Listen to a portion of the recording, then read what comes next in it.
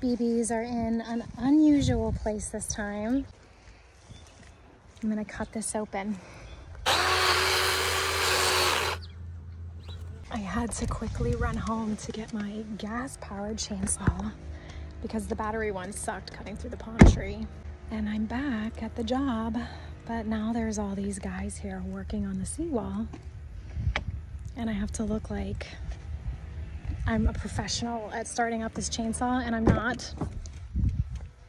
I'm a little bit shy about having to start this chainsaw up in front of all these guys.